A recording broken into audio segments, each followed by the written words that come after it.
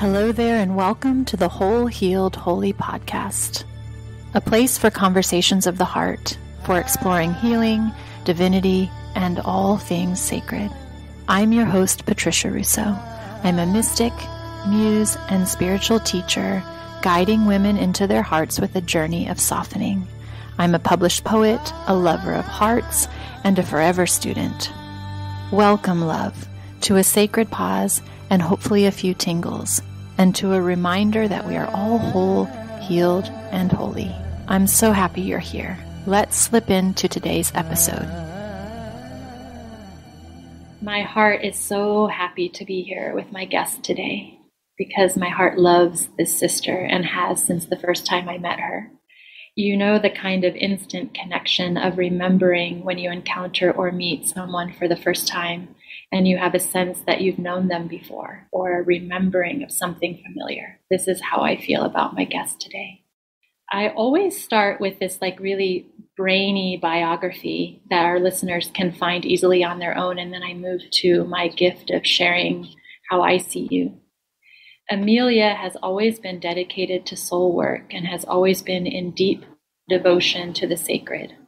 She is a keeper of ancient mysteries dedicated to the healing arts, poet, herbalist, birth keeper, doula, energetic body worker, therapist, and embodiment teacher. She's been studying with different ancestral wisdom keepers, mystics, and healers from around the world. Her work bridges the seen and the unseen. She works with groups one on one and facilitates space of deep remembrance through ritual and ceremony. She works a lot in connection with water as the primordial element through her work with birth and conception and as an aquatic body worker. Her work is very intuitive, subtle, and grounded in her profound love for this world and all beings. I see you, Emilia, as sacred.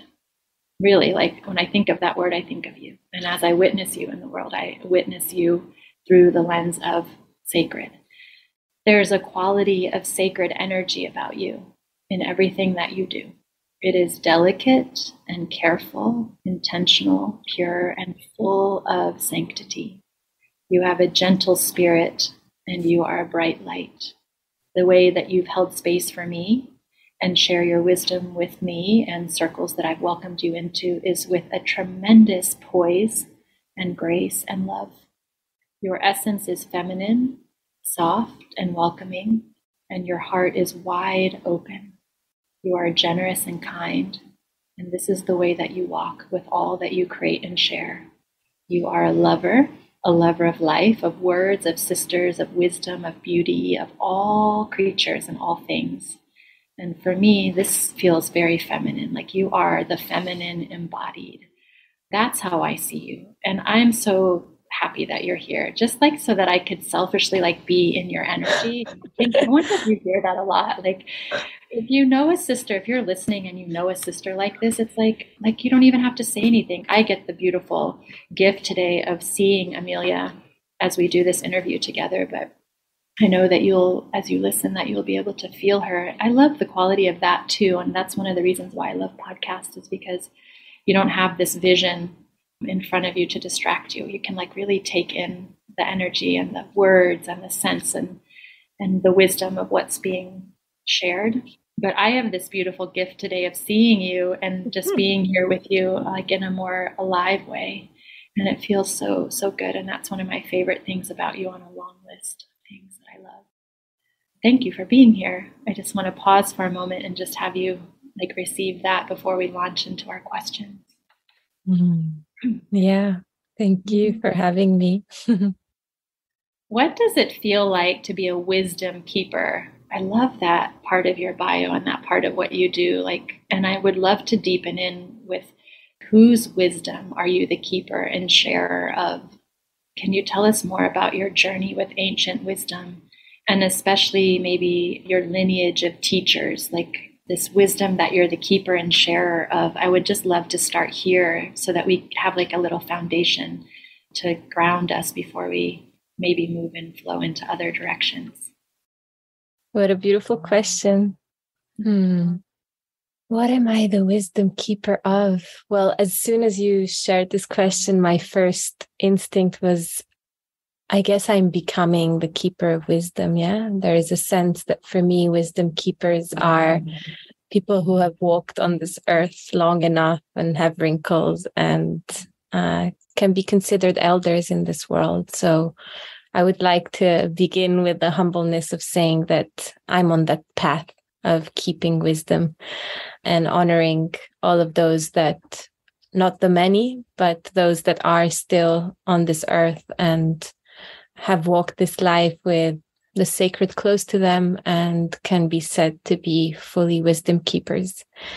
Having said so, I have learned from, um, yeah, many different traditions. I think my journey really began because I felt so out of any tradition. I felt very alone. Yeah, in all of the questions I had, in all of the inquiries that I had. And I had no elder, I had no teacher, I had no community, I had no barely family that could hold me in those questions. And so at a very young age, I began to seek people that could give me answers.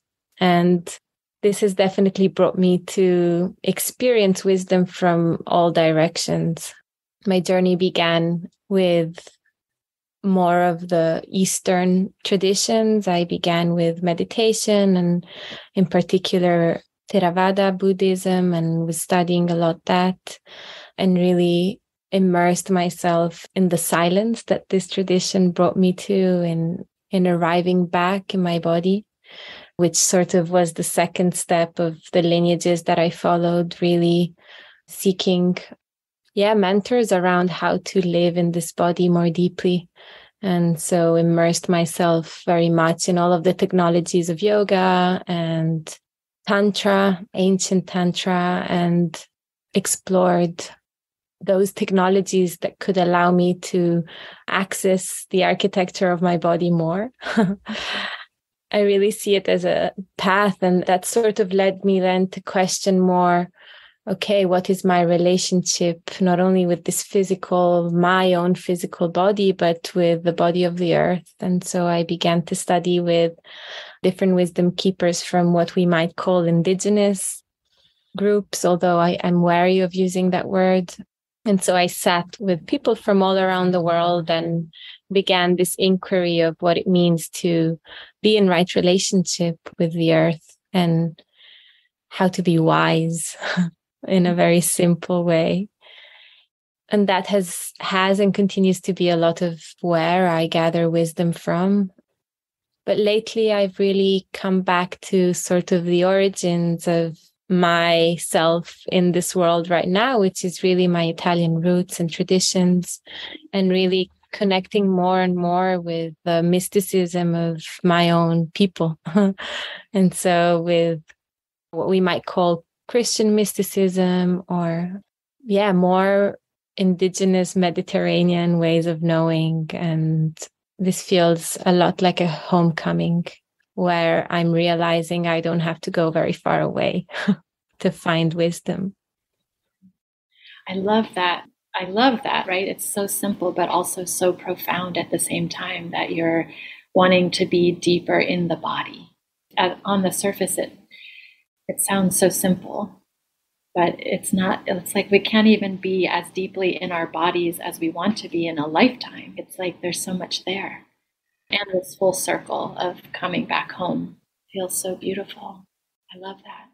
What's the difference between learning and remembering? or wisdom and knowing. Yeah. Yeah. I would yeah. love to just get your perspective on that.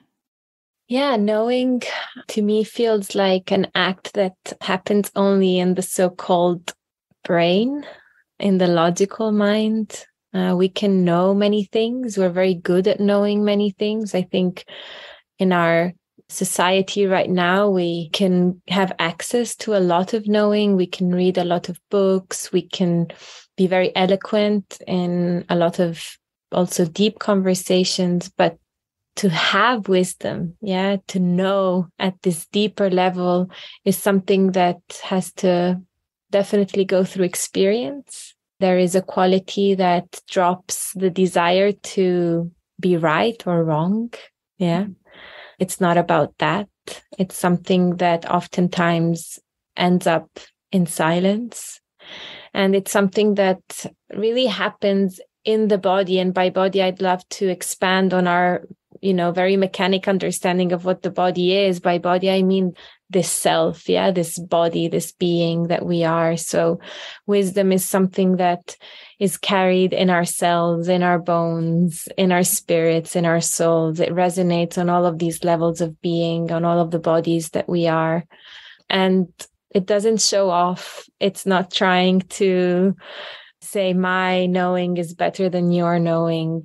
It's a remembrance, as you used this word before. It's a unraveling of what is already there. And it's um, quiet in some ways. It's just vibrates and we just know it's ancient and fully future oriented and present and it doesn't need the logical mind to necessarily explain itself it might use it but it doesn't need it hmm. i really feel like this is our realm this is the realm that you and i like to spend time in not the the knowing or the learning or the wisdom even although i love that this quality that you're adding to the word wisdom which is really more in the vein of something that is, or something that's passed down, or something that's lived. I really love that. But you and I like to spend most of our time in the realm of the remembering or of the knowing that is. And as you say it, that is in your body, that is at the cellular level. And I'm jumping a little bit ahead in my notes here, but is this what you would call soul work?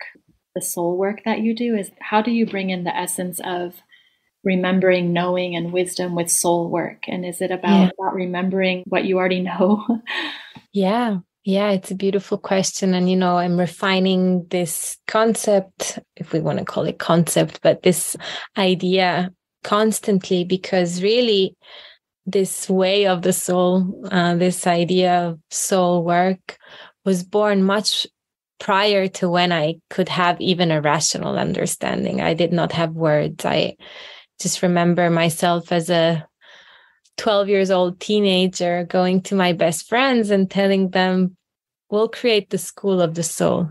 Yeah. And I'm not sure I really knew what I was talking about, but I'm pretty sure I had understood like what comes to me now is the taste of what I was talking about. I had no words and it took me many, many years, and I'm still in the process of refining and understanding also with that more knowing way like, what am I talking about? What is soul? What is soul work? Yeah. This to say, you know, it's in ourselves, as you so beautifully said. And it was in my 12 years old self that knew something without having read any book, without having had a parent or family member that ever really used that word and so now the way i really understand soul work is is really this bridging of the seen and the unseen. Yeah it's this um the soul is really this part of us that is eternal and at the same time is so embedded in the nowness. And so it's working with these two dimensions. Yeah it's remembering the essence of who we are beneath all those layers of story that we have been conditioned to believe in, that we have decided to believe in, and go to what is deeper, more fundamental, with what is in some ways more wild, I love to say, because it doesn't conform to the parameters of the world, although it might sometimes, but it doesn't have to. So there is a quality that is more free, more wild. And soul is sort of the bridge between spirit and matter, in my understanding. And um, it's sort of what allows us to also have remembrance of other planes of being and translate it in our day to day life and how to live with that awareness. Mm-hmm. That is really beautiful. Um, just sitting with that for a moment. and feeling into that. And I think that's where this piece of living with the sacred or being sacred sort of finds itself. Why, in your mind, who is doing soul work and why should we do soul work? and I'm saying should with a very small s because I wouldn't dare tell anyone that they should do this or should do that. But for the yous and the me's who are deeply on a path of like really wanting to be in our soul, sit with our soul, be guided by our souls, be in soul work as we like to be with the, the service that we do. Who is doing this work in your experience and why is this work so important?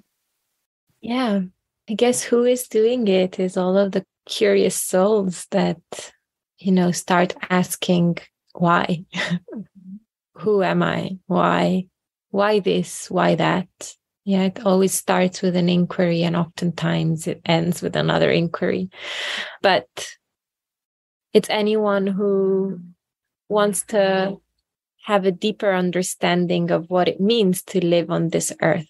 Anyone who might begin feeling unsatisfied of their lives, unsatisfied of how the world is functioning and begins to ask. The entry point can be very different. Yeah. It can be yeah, asking why. It can be suffering. It can be the loss of someone. It can be a sudden remembrance of like, oh, okay, there's more. uh, it can be falling in love. Yeah. It can be so many things that bring us to this work.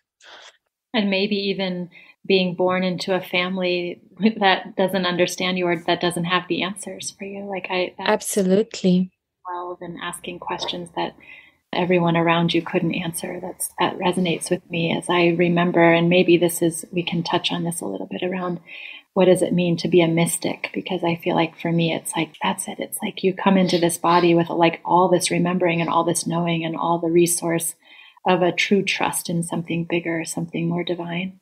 Yeah. And yeah. yeah so maybe it can be that just the curiosity of, wait, there's something bigger. What is that thing that's bigger? Yeah. Oftentimes, you know, people say, oh, I'm not spiritual or that is not who I am. And I always remind them that they can't really claim that because we all are. We might not want to explore that part of us, but it's there. Soul is there. It's not that I have soul, you don't have soul. It's like we all came on this earth because of soul. We are mm-hmm. soul. Yeah. And yeah. With that. That feels like so right and so good to like Yeah. Like it is. Yeah. Yeah. And it's just about turning our gaze, turning our attention towards that. Yeah. Towards the words in between words towards the movement in between what we see. And before you asked why is this work important, I feel this work is important for so many reasons. It's important if you care about living in your full aliveness. It's important if you care about having deep intimacy with others. It's important for our world right now so much of soul has been deprived, so much of this aliveness. And so it's so important to bring healing and to live in our fullest potentiality, this human experience. Part of the questions I came in this world with was really why? Why am I in this world? What is it about? I don't understand. And many years later, there's an understanding that it was easier for me to want to return back to the other world. And so I was sort of almost fighting my being here. And I was questioning what is this about, especially in a world where I did not see all of the values that I felt were important, which was love and reciprocity and kindness and aliveness also. Yeah. Hmm. Yeah. Yeah part of me wants to deepen in with that piece, if I may. Just mm-hmm. um, this wasn't planned, but I feel like there's something here. When we do have these curiosities and when we do have this real feeling of this connection to this part of us that we feel like is just so true, the soul of us, spirit, oftentimes, and as you described, which I also believe, it's like we're living in this soul as a soul and in this body at the very same time, as if it couldn't get any more complicated. And I think that's like where a lot of your our work kind of comes in. It's like navigating this place that we're in at the very same time, the soul and the human experience. And you touched on this a little bit around the limitations of that, the pain and suffering of that. And I um, would love to just have you just deepen in there a little bit if there's anything mm-hmm. more around yeah. You felt in those moments or like how you found your way out or and if this is part of your work and yeah this feels like yeah. part of your personal um, healing yeah. journey yeah for a very long time i felt like i did not inhabit this body i somehow did not want to inhabit this body and as I said, I sat with many questions of what is life about? And I always felt a lot, uh, was very alive in my inner waters of feeling. And it took many years of sitting with these questions and also the consequences of these questions, which were not easy because for quite a few years, I felt like I lived sort of two realities the reality of having to like operate in a world that felt so broken to me. And that was part of my suffering as well. That it wasn't only that I had to live in a body, because then later on I began to fall in love with the body, but it was that I had to live in a reality that to me felt so not ensouled. Yeah. So broken. And it took me many years of feeling this strong disconnection, this strong alienation, this strong sense of like, I just want to go back home. I'm like, I'm not sure what am I doing here. Yeah. And of course, having this utter love that was just hidden behind all of this suffering, this love for being here, and this profound desire to experience this life so fully. But that for some reason I did not know how to. On top of that, in my own personal journey, I was using the body a lot growing up as I was a gymnast. And so I was using the body in this very sort of uh, controlling way. Yeah it felt like the body was so squeezed, squeezed in the tense muscles of a gymnast's body until everything broke apart, as it always does. And I began to hear this voice that said, Return back. Yeah. I'm not your enemy. I am here to welcome you. I am your temple. Yeah. I am the place where you can experience all that you yearn so deeply to experience. This intimacy, this belonging, this love, it can be experienced through me.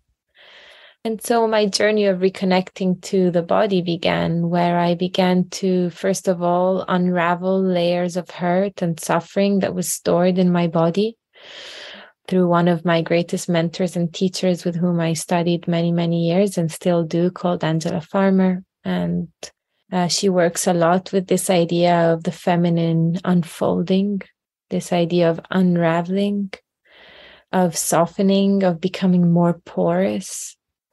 And slowly, slowly, slowly, it felt like being this soul that was just like uh, floating on top of me was like, oh, it's safe. I can be born. Mm. I can enter. Yeah. I can enter. And for me, it's become very relevant work, this work of embodying ourselves, because I feel that in some ways we are all trapped outside of our bodies, whether it's through these type of inquiries or whether it's through living so much in the mind, by which I mean brain, and so we don't actually fully embody, inhabit this first home that our souls chose to inhabit. And this piece came in as well much later of choice. Yeah. Of I chose to live this human experience. I am here. I'm here to live this body to feel joy through this body, to feel pleasure through this body, to feel aliveness through this body. And so slowly I began to bridge the body and soul. It wasn't anymore my soul feeling trapped or disconnected. Everything was woven, stitched back together. And a lot of reverence came to the body. That feels like a spiritual awakening to me yeah, that feels like a spiritual awakening to me. Like this is for those of you listening, like this is like the mic just dropped. Like this is the secret. this is the secret to life. Like when you have this big remembrance that where the body is the whole point, as Meggan Watterson says, like this is the vehicle by which we've come into to feel and to experience. And yeah. um, the way that you just described it as this soul of you is hovering above, just kind of feeling displaced and focused on that feeling of not being home, which resonates so deeply with me because I have those moments where I too just want to say, like, wave the white flag and say, okay, I give up. When's the next spaceship home? You know, like, when can I zoom myself out of here? I've had those moments. And when you have this, like, wow, it is, I feel like very much a part of the spiritual journey to like have this message just like really hit you that, oh, wait, it's about being in the body. It's yeah. about it's about integrating these parts. And then is it from there that you go into this idea of from the integration and the full embodiment that you begin to carve out what you call a sacred life? Is it from there, from this embodied place, that you begin to walk a sacred life? And I would love to just kind of switch our focus now and talk about what is it to be living a sacred life? Like, how does that look in a practical sense? You shared that you're doing prayers in the morning and that you have a certain rituals and ceremony yeah. as part of it. But yeah. Um, yeah, I'm imagining once you arrive in this embodied place where all the parts of you are now on kind of on board with the plan, that's when the sacred life kind of enters. Yeah. Yeah, that's when they're not divided anymore. Yeah, the sacred and the profane, the body and the soul. Yeah. I think as humans, we love to separate. And so the body has become this dirty place. Yeah. In so many traditions. And if you are in your body, then you are not living a sacred life. And that's when indigenous ways of knowing came very strongly as sort of a key for me because as I began to sit with elders who, to my eyes, had so much knowledge and so much wisdom and were so humble and so embodied, I started to realize okay, they are one, the body and the soul. And we can experience the sacred through our bodies. We can become the prayer. Yeah. And mm-hmm. guess what? The whole world is mm-hmm. sacred. Yeah. The trees, the plants, the rivers, the streams, everything is sacred. Everything is ensouled.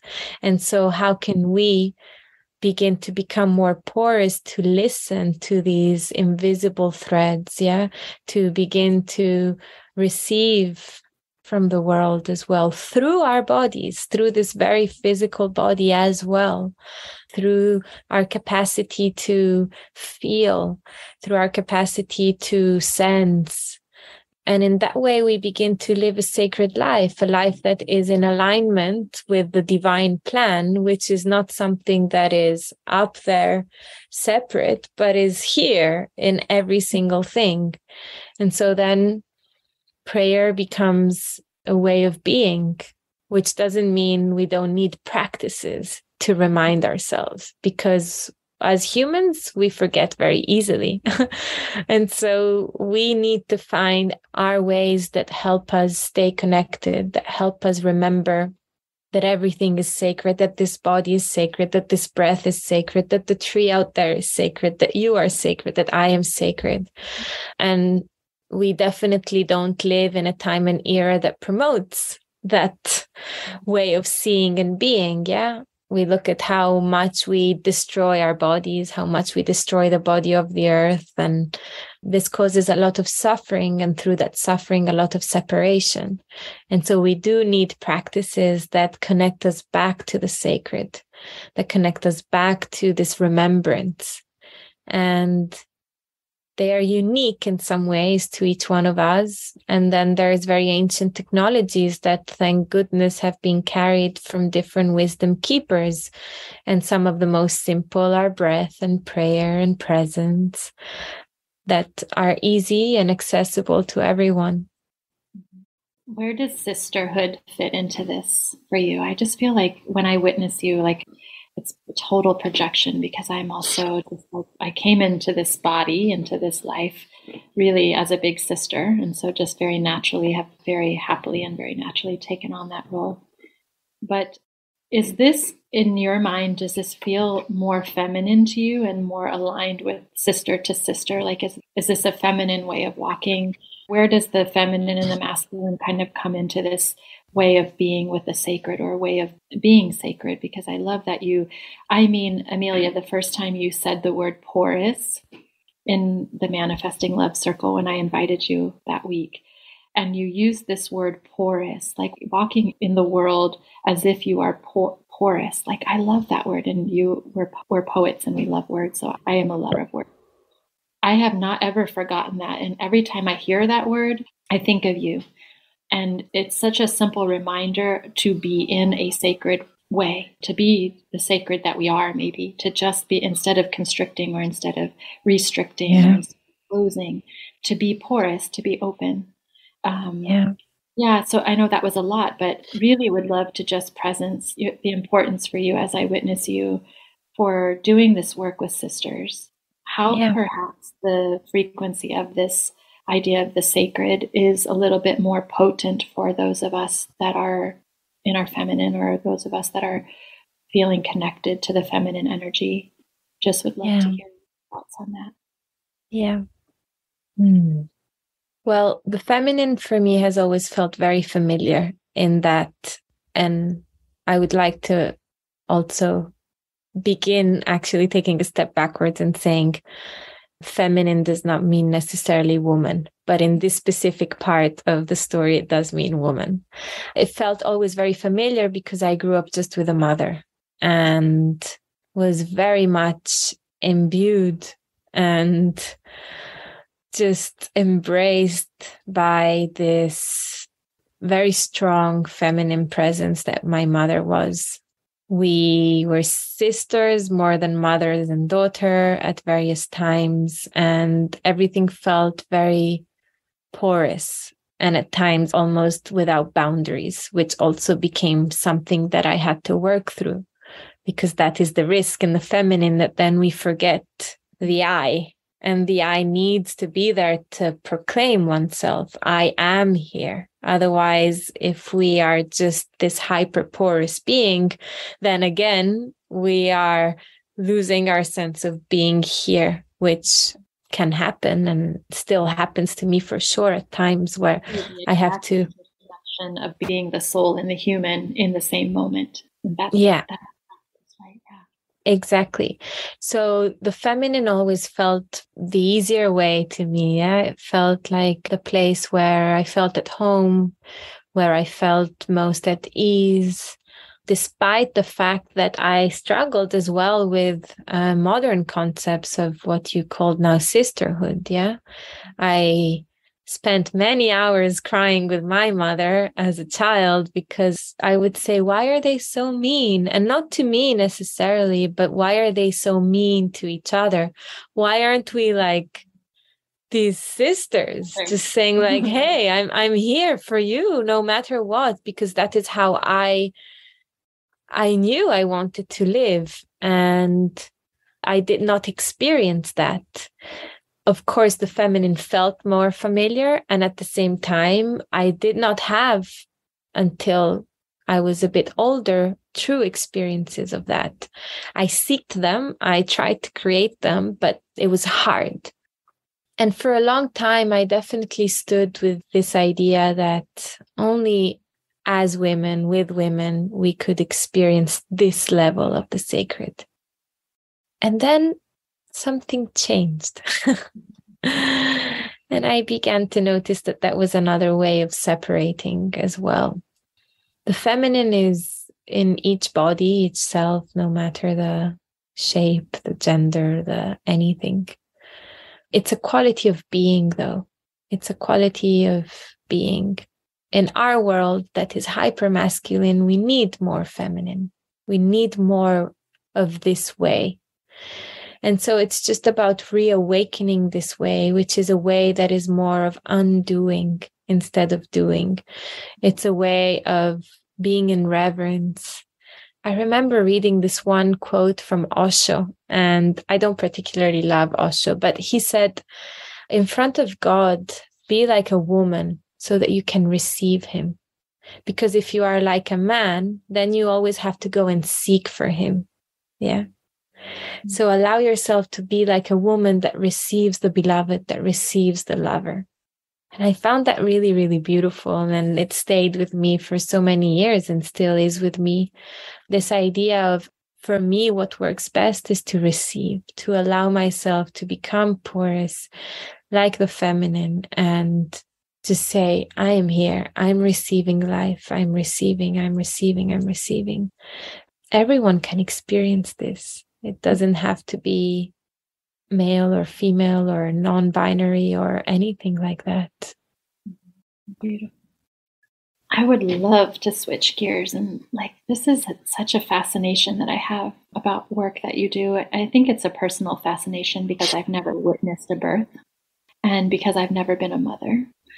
And so I'm just fascinated with this work that you do as a doula and this work that you do in the birth space. And perhaps you're fascinated as you're, I mean, everyone that I've ever known, I have several dear, dear, dear sisters who are in this work. And just maybe the fascination of this miracle never goes away. But I would really love to learn more about, like, I would imagine that it's a sacred space and a sensual space and a porous space. But what is the essence of your work here? And I think this is maybe new, a new deepening in for you since we last chatted. So this is maybe the newest chapter of your work. And for those yeah. of you that don't know Emilia, I wouldn't dare ask you how old you are, but she is like wise beyond her years. I've always felt like you have an old soul quality, like you just like when you speak and when you share and when you guide, it just feels like it's coming from like a million lifetimes. Yeah. Hmm. Share with us a little bit more about this work that you're doing in the birth space, in the birth realm as a doula. Yeah. Yeah. Recently, and this is very personal, and then I can go more in the impersonal, but I sort of had an insight of why I decided to say yes to this calling of birth. And it has to do with the story that I just said, because for so long I felt it was hard for me to be in this world. Yeah. And so to begin to witness the arrival of souls in this world was very healing for me. Mm. To witness this yes that all of us have declared the moment we stepped into this life was very healing for that part of me that still felt confused. Yeah. For a long time, I was also questioning how much that experience affected our experience of the world itself, how much the way we arrive in this world affects the way we interact and experience the world. And the more I began to dive into studying birth, the more I realized that, of course, nowadays the way we arrive is and can be very traumatic. It can be very not loving. It can be very not sacred. And with that, I began to study and remember without studying other ways, but also hearing stories of people in more traditional spaces where the mother would stay for 40 days after birth just with her baby. And when the baby was born, the man would be outside of the hut singing to the baby as a way to say, we welcome you. We sing you into this world. We greet you. We celebrate you. Um, read about ways in which a baby after it's been kept for 40 days in this cocoon of transitioning from a spirit world to physical world with the understanding that it takes time for that soul and body to actually come together. And once those days have passed how the baby would be presented to the sun and to the earth or how our placenta in some traditions is then buried back into the earth as a way to say you are first and foremost daughter son of the earth yeah? And so all of this made me think wow i wonder how much this has affected me and how much this has affected all those that did not live any of these experiences not even the slightest sort of remembrance. Yeah. Most of us were born under neon lights with very traumatic experiences. I was born with a woman pushing on my mother's belly forcefully, with women who are not respected in their desire to birth naturally, if that's their desire with environments that are not warm, that are not sacred, that are not safe, that are not sensual. That not to say that this cannot happen in hospital settings or that hospitals are bad or anything like that, but the way the sacred is not ever called in really gave me a lot of desire to deepen this and to become what in modern days we call a doula, which is basically someone who, in my understanding, well, doula comes from the Greek word doula, which means to mother the mother. So there's this understanding that you are mothering the mother as she becomes a mother, as she becomes to inhabit this new role. But at the same time, the way I see it is also that a doula is that she or he who sits at the portal and makes sure that the portal is safe and that this soul arrives safely and that this soul arrives lovingly.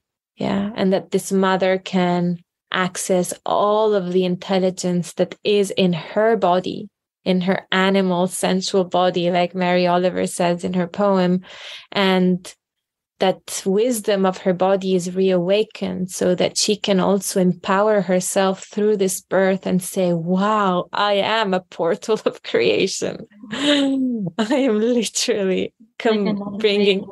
yeah, it's another way in which you're bridging the seen and the unseen. Yeah, absolutely. I mean, witnessing being part of birth is literally sitting in between worlds, just as it is sitting with someone who's dying. It's the same door, it's just at the other end. And so it's so humbling. It's so important. It's so empowering. It's so essential to invite souls to arrive with presence and awareness in a loving environment, in a body that is fully in her power, whatever that means, but that is a body that said yes. Yeah. Mm, that feels, I mean, I don't know, those of you that are listening, like this glimpse that we got, Emilia, of you being sort of defiant to that and a younger you, like your defiance to that. I don't know if defiance is the perfect word, but just this resistance to that merging or that embodiment. And then the way in which you have come full circle. And now you are the I mean, I can't even imagine um, you being there in the room, welcoming these souls into the world and helping these mothers, like mothering these mothers, like the way in which you've completely transmuted all of your personal experience in this lifetime into love and into service so that other souls can come in with like the most beautiful and sacred welcome it's so beautiful and so generous of you to like give us a glimpse of that. It feels really, mm. really, really so beautiful. Yeah, thank you for sharing that. And I would love to do maybe another episode around all that that is because I feel like there will be many listeners interested in the work that you do around that. And I'd love to give that some space, some more space, but this hour goes so quickly. And I don't want this hour to end before we touch on this real love that you have, this love affair that you have with plants and herbs, and how much of a part of the sacred is a part of your work. And this is especially one of the things that I love because when I was looking for some help going into my surgery, the way that Emilia shared with me that these plants or that these certain herbs or certain plants, I don't know if you use those words interchangeably, can be allies for you. Like, I just love that word. I love when you use that word and that you gave me the idea, even just that I had these allies in plants that could help me in my healing. It was so beautiful just in my own experience. Will you just share a little bit around how you work with plants and what your love about what is your love affair with this part of what you do and how does this come forward in the way in which you serve yeah. You speaking about plants makes me joyful so that means a lot. Yeah. yeah. Yeah part of my whole journey was feeling disconnected to my body and, and in turn as well to the body of the earth and i was always interested in herbs. As a little child, I refused to use any medication unless very, very, very necessary, and was always very interested in alternative ways of healing. So, always very interested in reading about herbs and understanding. And then many years later, I began to work on farms and to get more also just a body to body interaction with plants. And I began to remember, I began to realize that these plants were not just chemical compounds that could help for this and that, but that these were alive beings that mm-hmm. had very unique personalities, that had very unique voices, that could be, as you said, allies to my healing journey, whether it was something that had to do with my body or with my emotions or with my mind or with my spirit and soul. And that, just that was so healing just to begin to walk through the woods, to walk through the fields and realize, wow, I'm full of friends out here. I'm full of beings that I want to know more about, that I want to connect more with. And as I open to them, I give to them. And as I do that, they give back to me. And so we return back into this cycle of reciprocity because all the plants feel so, so left out by us humans. Yeah. They're like, hey, have you forgotten about us? I mean, more than left out, probably very in grief of how we treat them and how we treat the soil and the earth and all of that. But it became very strong part of my work both personally to learn how to become more porous yeah?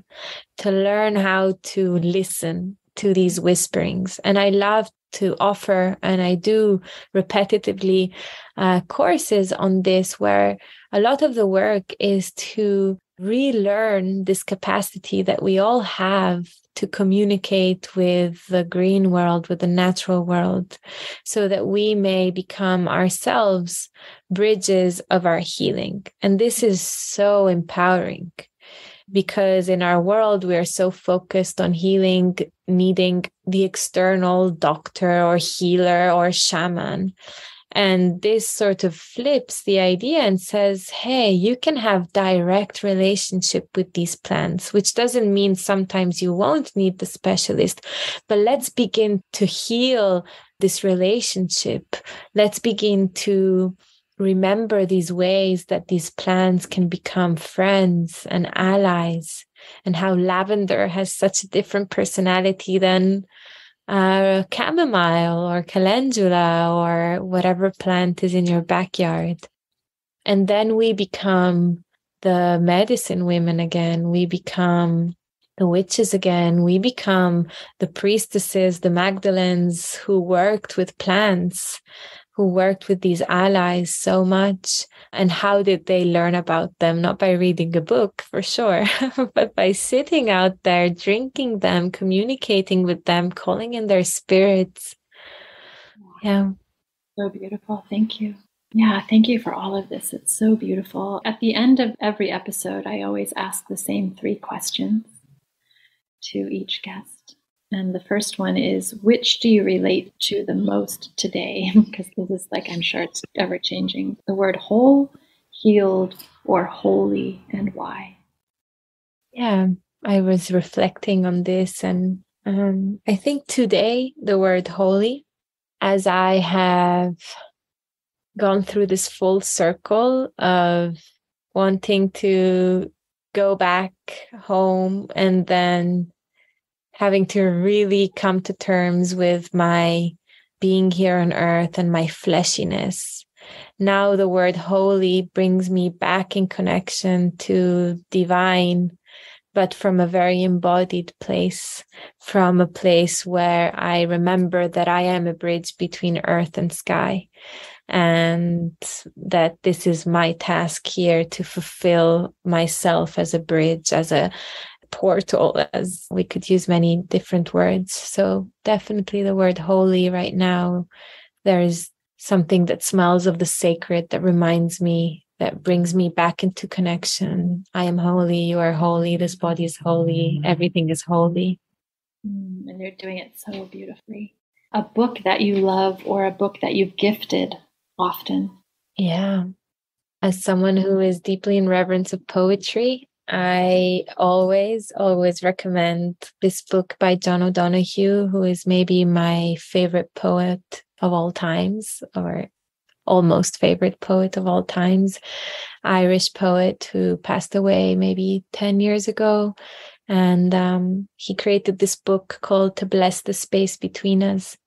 And it's a small book, and it's a series of poems to bless different moments of our lives.